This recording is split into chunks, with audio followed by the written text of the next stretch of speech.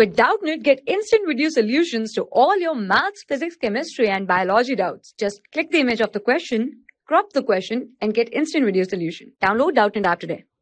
Hi everyone, our question is radii of curvature of converging lens are in the ratio 1 is to 2.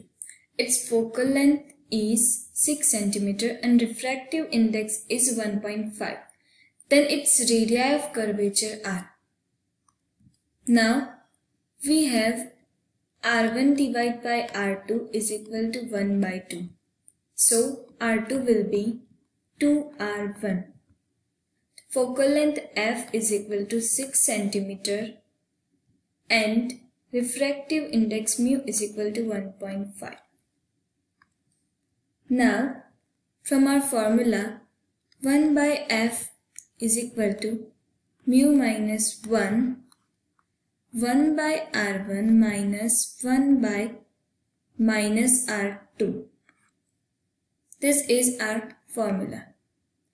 We'll put all the values. So f is 6, mu is 1.5 minus 1, now 1 by R1, R2 is 2R1. So 1 by minus 2R1. So we will get 1 by 6 is equal to 0 0.5 into 3 by 2R1. So R1 will be 4.5 centimeter this will be our R1.